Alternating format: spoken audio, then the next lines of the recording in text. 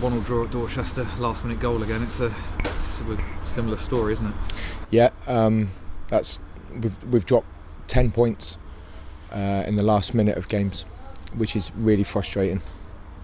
Um, but uh, we've lost one game in twelve, unbeaten in six. Um, so I mean, come the end of the, come the end of the season, it could be a point gained. I mean, this is a game in hand for us tonight. So obviously we've closed a point on on people above us.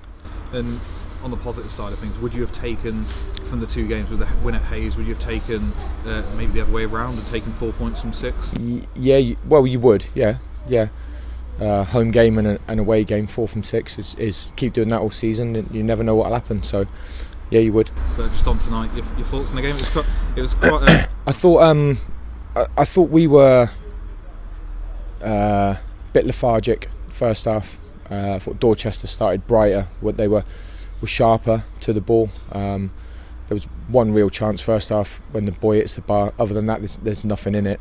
Um, but like I said, I thought Dorchester was sharper. Just said to the boys at half time, we need to up our intensity a little bit, um, and we did that. And for 25 minutes, we dominated, scored our goal. Um, could have put, should have, well, could have, would have, should have, should have put the uh, game to bed with a second goal. Um, I, I don't want to moan about that's that's a stonewall penalty and, and a sending off. That's that's just a ridiculous decision not to give the penalty. We've had it a few times this year, but um, and then at the end, credit to Dorchester they come into it. Um, they kept moving the ball really well all night. Um, but we just don't track a runner. We, we, you know, last seconds of the game, we, we stopped crosses all night. We've we've um, kept them kept Dorchester to long range efforts. Um, but listen, they kept coming, they kept coming. Um, we don't stop across and, and we let a, you know uh, a runner into the box and, and he scores. Um, and would I say I was surprised?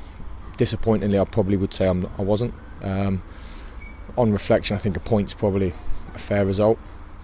But when you're one 0 up with a minute to go, it's, it's galling. Like I said, ten, that's ten points now from winning positions in the last minutes of games, which is it my fault? Is it that? It's a ter- terrible habit to get into. But yeah, it's, listen, it's a frustrating night, but it could be a point gained at the end of the season. Do you think Saturday's uh, performance, obviously a big pitch and stuff, it was a tough, tough game on Saturday as well. Do you think that maybe took it out the players a bit tonight? Well, Dorchester played Saturday as well, so you know, so I, I I'm not. Uh, no, I don't think it's anything like that. I mean, you know, the ball moves really quick on here, and we we actually really like playing on on 3G, but Dorchester, to be fair, pressed us really well. We couldn't get our passing game go, so we had to game going, so we had to go a little bit more direct. So credit to Dorchester for that.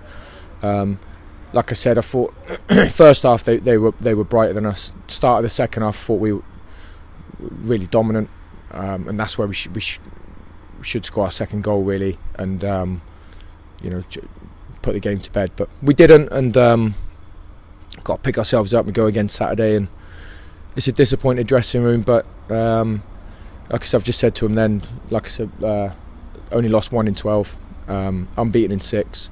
We're doing all right, we're doing all right. And another tough trip on Saturday.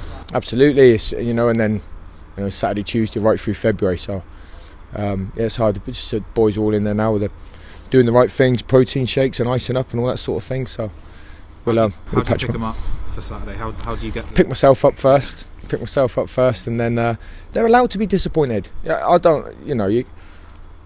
As a player, I was always a bit frustrated when people, after a minute after the game, were like, oh, "Don't worry, lads, go on to the next game." They can be disappointed tonight. That's all right. Be disappointed tomorrow if they want, but Friday, Saturday, pick yourselves up. Another game of football. Wake up in the morning, mate. It's another day.